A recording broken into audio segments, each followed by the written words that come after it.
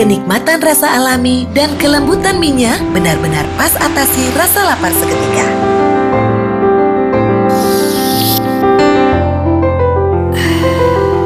Lapar. Mau mie gelas mie sehat lagi ya? Boleh. Nikmatnya pas, bebas was-was,